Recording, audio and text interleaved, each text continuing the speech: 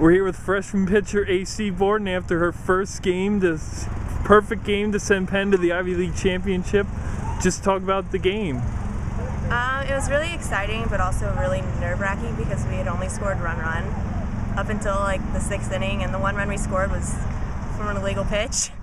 So it was really nerve-wracking, but we've been hitting the ball really, really well. So I knew they were going to pull through, and then Gorney ended up hitting a bomb in the sixth, and we ended up winning.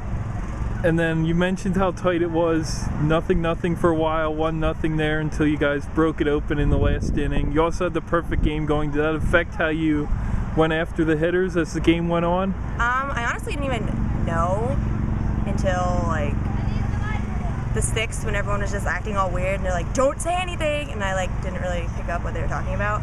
And then I got it in the seventh, but it didn't. It didn't really affect me.